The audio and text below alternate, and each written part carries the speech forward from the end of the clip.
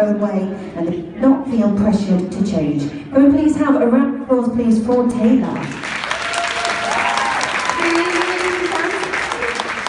Thank you all very much for being here this evening. Uh, as Juliana had stated, this just means absolutely everything to me. Um, I've been organising beauty pageants now for five years. And yes, I'm 23 going on 40. Um, but I absolutely love everything that I do. And the girls have been working so hard today within rehearsals. And I have to say, they look stunning backstage.